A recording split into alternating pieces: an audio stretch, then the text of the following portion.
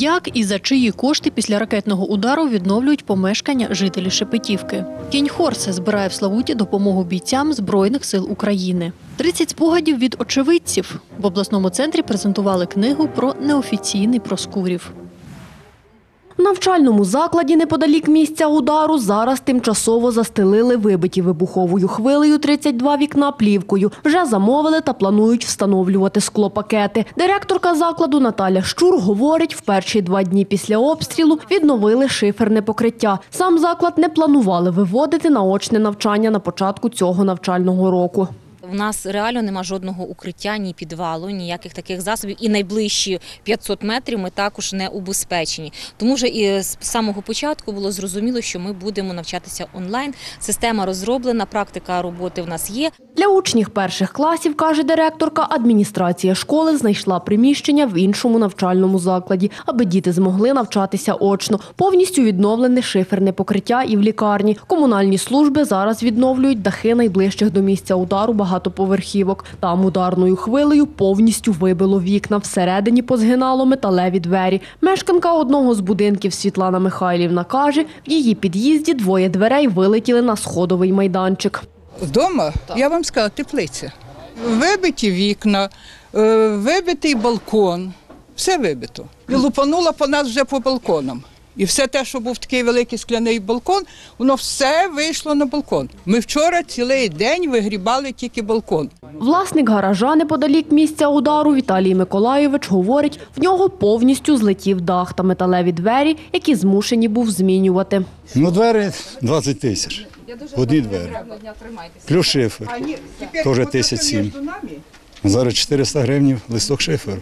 За словами заступника голови Шепетівської громади Віталія Янушевського, внаслідок ударної хвилі від ракетного удару 24 серпня пошкоджено 58 будівель. Для перекриття однієї з пошкоджених багатоповерхівок потрібно було 800 листів шиферу. Перші два дні після надзвичайної ситуації були перебої з шифером. Зараз його достатньо. Місцевим жителям безкоштовно надають плівку та фанеру для того, аби затулити вибиті вікна. Наразі за кошти громади відбувається закупівля вікон для об'єктів соціальної інфраструктури та під'їздів будинків. Жителям громади, помешкання яких пошкодила ударна хвиля, слід звертатися на гарячу лінію екстреної диспетчерської служби за номером 1503, а також до правоохоронних органів. Їм відшкодовуватимуть збитки за кошти з державного бюджету. Діана Колесник, Іван Мовчан. Новини на Суспільному. Хмельниччина. Станом на 5 вересня від початку повномасштабного вторгнення Росії у бою з українськими захисниками загинули 49 тисяч 800 російських військових. Противник втратив 2068 танків та 4459 бойових броньованих машин. Збройні сили України знищили 1157 артилерійських систем, 294 реактивних системи залпового вогню та 156 засобів протиповітряної оборони. Від 24 лютого українськими військовими знищено 236 літаків, 867 безпілотних літальних апаратів, 206 гелікоптерів, автомобільної техніки та автоцистерн 3286 одиниць, спеціальної техніки 107 одиниць. За 194 дні повномасштабного вторгнення Росії на територію України ворог втратив 15 кораблів та катерів, збито 205 крилатих ракет. У середмісті Славути для потреб ЗСУ волонтерить кінь Хорсе. Бетонного коня з широкою усмішкою створив славутський скульптор Микола Мельничук, який називає свій витір арт-приколом. Робили недовго, робили з таким настроєм, просто, чесно кажучи, сльозами від сміху. Робили вже ну класно. Коротше, кінь позитивний.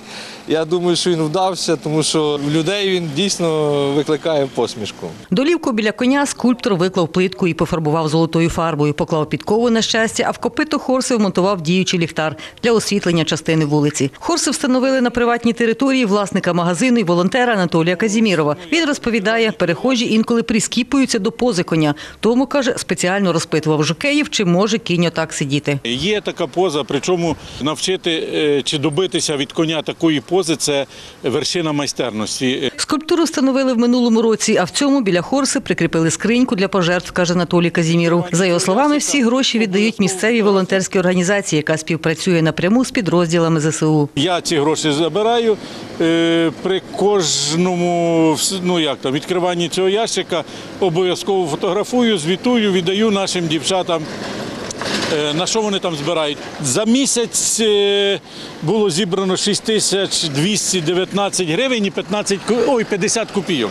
Плюс там ми е, додаємо від себе, щоб було щось кругліше. Коня, розповідає скульптор, йому допомагали встановлювати друзі, бо важить він кілька центнерів. Армований бетон, матеріал такий е, міцний і ну, і по грошам дешевше, ніж, наприклад, з металу його взагалі вилити.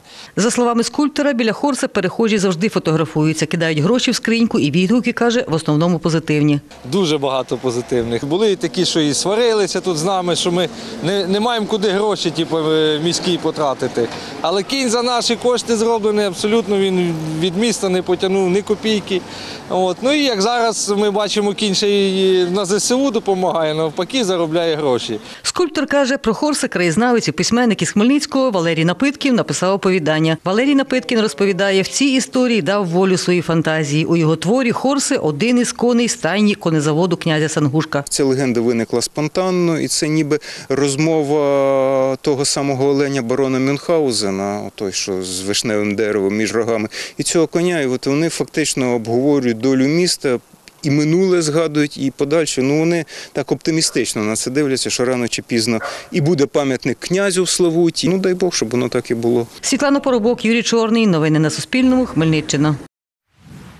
Це другий том книги Дух їхнього часу або Проскурів неофіційний, яку презентували у Хмельницькому. Її автори науковець Володимир Захарєв та краєзнавець Віталій Свінц. У книзі зібрано спогади різних людей про Проскурів від 1793 року до 1954, коли місто перейменували на Хмельницький. Книга складається фактично з оригінальних творів е, людей, які або народилися в нашому місті, або мешкали в нашому місті, або проїжджали через наше місто і залишили спогади свої в мемуарах, окремих книжках, чи в чиїх, в чиїхось оповіданнях і так далі.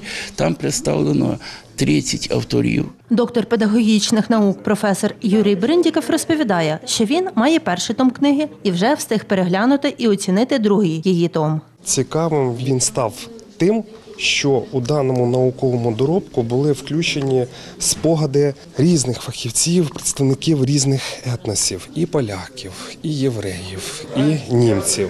Містом стало цікавіше гуляти. Тому що ми е, раніше знали просто назви центральних вулиць. Тепер, прогулюючись, ви можете собі фантазувати, уявляти, як це відбувалося 100 років, 200 років тому. Історик Валерій Кундельський каже, нова книга, інформація для якої зібрана трьома мовами, варта уваги всіх, хто цікавиться історією Хмельницького Проскурова. є введений у науковий обіг статистичні дані, мемуарні дані, яких ніколи науковий світ не бачив. Саме тому цим визначається наукова цінність цієї книги, двох томів. Там є цікаві карти, які вперше введені. Там є цікаві дані статистики, як населення Проскурова та околиць навколишніх сіл зайнято у сферах економічного розвитку, е, чого інші дослідники це не показують. Співавтор нової книги, краєзнавець Віталій Свінц, каже, що має вдома 13 кілограмів напрацювань для наступних томів. Я не знаю, чи то буде саме той формат мемуаристики. Може, ми трошки змінимо формат, тому що мемуаристики стає все менше і менше. Ми її якби зараз вже е, вибираємо. 20 екземплярів нової книги Володимир Захарєв передав директорці централізованої бібліотечної системи Хмельницької міської територіальної громади Тамарі Козицькій. Їх розподілять між бібліотеками громади. Книги, які сьогодні отримали, дуже важливі, тому що вони про історію нашого міста, про історію нашого краю. А це завжди затребувано для бібліотек. Е, Книги це боєприпаси, на якими ми воюємо на своєму інформаційному фронті. Для нас це дуже важливо, щоб були нові е, такі нові боєприпаси. Наклад нової книги 100 екземплярів. На їх видання витратили 20 тисяч гривень, які профінансували спонсори. Ми вважаємо, що такі книги мають виходити е, не просто аби війшло. А, а ми її зробили на е, крейдовому папері. Ми зробили в кольорі, щоб ілюстрації якраз були майже того часу, коли та ілюстрація зроблена. Наталія Сідова, Іван Мовчан. Новини на Суспільному. Хмельницький. Щоб зробити хвіст на треба знайти, де саме тут буде той хвіст. Волонтерка Хмельницької обласної організації Товариства Червоного Христа України Анастасія Чеглакова показує, як з робочої рукавички зробити м'якого котика. На вибір пропонує блакитну, жовтогарячу та білу заготовки. Дев'ятирічна хмельничанка Олександра Доматевич бере матеріал кольору неба.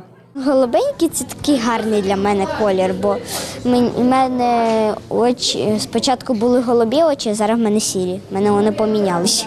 На сімейну зустріч Саша прийшла з мамою Іриною. каже, їй доручила зшивання деталей блакитного котика, якому вже обрала ім'я. Я його назву Мурзик, і більш всього мені мама все пришивала, то ще погано. Вмію шити, ну вмію. Хмельничанка Ольга Курманська до пошиття іграшки залучила тата Олексія. Чоловік вміло вкладав стібок за стібком. Тато мені зашивав хвостика. Ну а я йому допомагала це відрізати ниточки. Створити сприятливі умови для співпраці дітей і батьків мали на меті організатори сімейної зустрічі, розповіла волонтерка Хмельницької обласної організації Товариства Червоного Христа України Анастасія Чеглакова. Цей формат я люблю найбільше. Це сімейний формат, коли ніхто нікуди не йде, всі задіяні. І я сподіваюся, всім тут класно.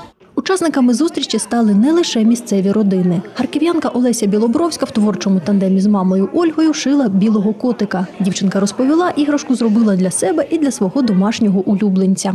Я буду спати з ним, назову так же, як мого котика Руня. Та буду, буду гратися з ним та прикалуватись над своїм котиком. Бібліотекарка обласної універсальної наукової бібліотеки, в якій відбулася зустріч Неля Томаля, допомагала іншим і сама робила іграшку. Я особисто дуже велике задоволення маю від того, що відбувається в нас. Е, Мені подобається, що діти від нас виходять з гарним настроєм, і не тільки діти, ще й дорослі. Е, А особливо, коли вони разом мають можливість поспілкуватися, е, а ми їм допомогти в цьому. Мені дуже приємно. Проєкт психосоціальної підтримки, в рамках якого відбулася сімейна зустріч, із червня цього року реалізує Хмельницька обласна організація Товариства Червоного Христа України за сприяння датського Червоного Христа. Першу чергу, за словами волонтерки Анастасії Чеглакової, він створений для допомоги дітям із числа внутрішньо переміщених осіб. За час існування проєкту підтримку отримали більше трьох їх тисяч. Анастасія розповіла, кожна подібна зустріч починається зі знайомства та гри. Зокрема, учасникам сімейної зустрічі запропонували гру крокодил. І кожного разу ми граємо в різні ігри. Всі ці ігри у нас прописані в гайдах, ми слідуємо їм. І вони, як ви бачили, дуже заходять і дорослим і дітям. У нас теж немає такого, що тільки діти грають, а дорослі сидять. Грають у нас всі. І після того, як всі вже перезнайомилися, розслабилися, можна вже почати щось робити і під час цього спілкуватися між собою. Саме для того ми і збираємось. Дізнатися про час і місце проведення наступної зустрічі можна на офіційній сторінці Хмельницької обласної організації Товариства Червоного Христа України. Ярослава Антошевська, Олександр Горішевський. Новини на Суспільному. Хмельницький. Більше новин Хмельниччини шукайте на нашому офіційному сайті Суспільне.Медіа, де у розділі Регіони обирайте Хмельницьку область та на офіційних сторінках у соцмережах Facebook, Viber, Telegram, Instagram та YouTube каналі.